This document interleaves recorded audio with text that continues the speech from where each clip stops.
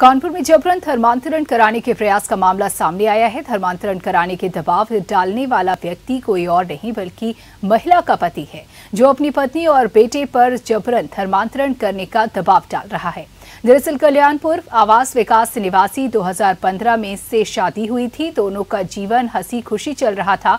परिवार में एक पाँच साल का बेटा भी है। पीड़िता स्मिता श्रीवास्तव ने आरोप लगाया है कि बीते कुछ समय पहले से पति उस पर और बेटे पर जबरन अपना धर्म बदलकर मुस्लिम धर्म अपनाने का दबाव डाल रहा है।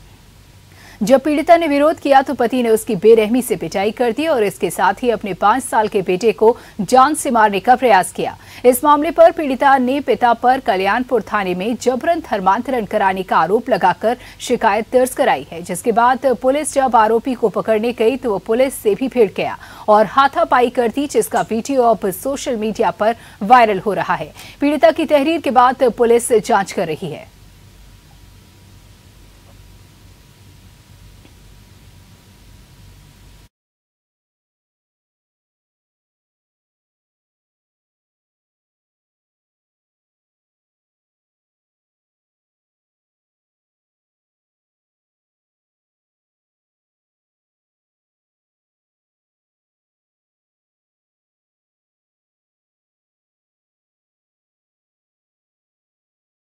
साल पहले अजमेर शरीफ गए थे, जहाँ से लौटे तो इनके बातचीत में हाव भाव में बदलाव आ गया। मुस्लिमों की तरह बिहेव करने लगे।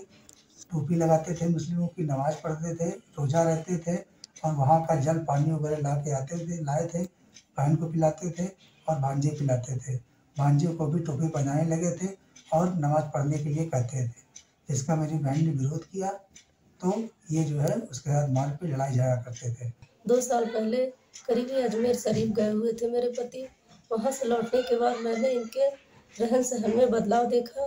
देखा कि ये टोपी लगाते हैं, नमाज़ पढ़ते हैं, रोज़ा रखते हैं और आए दिन लड़ाई झगड़ा, जब मैंने इनको रोकने की कोशिश करी तो इन्होंने मुझसे लड़ाई झगड़ा आए दिन करते थे, मुझे रोज़ प्रताड़ित करते थे।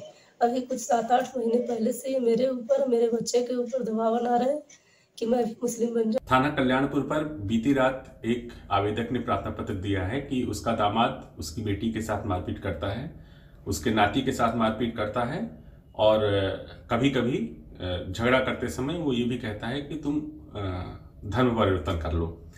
चूँकि ये परिवार हिंदू परिवार है और प्रथम दृष्टिया एक दिन पहले पति, पत्नी में झगड़े की बात आई थी, जिस पर थाना स्थानीय पुलिस ने आरोपी लड़के का एक सौ इक्यावन में चालान कर दिया था। इस संबंध में अभियोग पंजीकृत कर जाँच की जा रही है।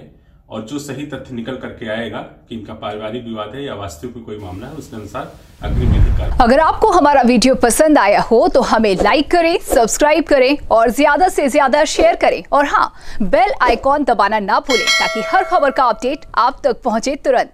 आप हमें इंस्टा ट्विटर और फेसबुक पर भी फॉलो कर सकते हैं। हमारी आईडी है at the rate J M T news